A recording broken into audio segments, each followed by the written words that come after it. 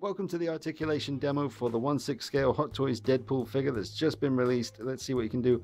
You can look down, you can look up, you can look to the side, you can do a full-on exorcist. If you so desire, he can tilt, give it a bit of attitude.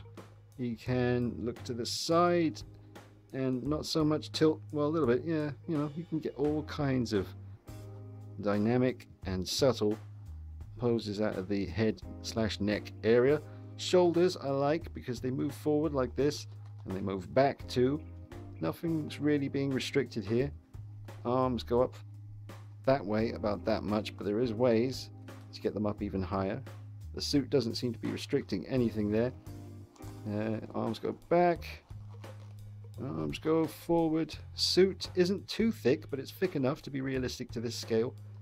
It does pretty much seem like they've shrunk Ryan Reynolds in the suit, to be honest. Great elbow bend as you can see. He's holding that really well.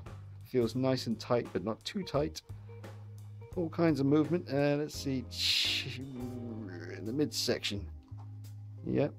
He can look back. He can lean forward. There's good movement in the here, in the, uh, the stomach section. Let's see. Legs. This feels very... Oh, this is very thin here.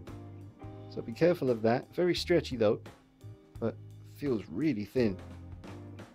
But yeah, you get a good bit of movement. Don't want to go too crazy. Legs come forward. I've seen him sitting in a chair, so you can do that with the figure. You can get him sitting in a chair quite naturally. Good knee bend. Great ankle articulation. Nice and stiff too, so he should be able to stand on his own pretty well. Let me just pop that back there. I think that's where that goes. But yeah, bit of a bizarre pose, but just to show you he can do that. Can turn. Pretty good. Yep, very nice. I'm trying to think about showing you. The wrist can move, let's see. Because it's... See, you've got, it's quite deep in there. And then that just connects on there. There's a bit of movement. A little bit. Overall, fantastic articulation. I'm really happy with it. And I'm sure I'm going to be able to have some fun with him. Stay tuned because all the fun is coming your way soon. Thanks for watching, guys.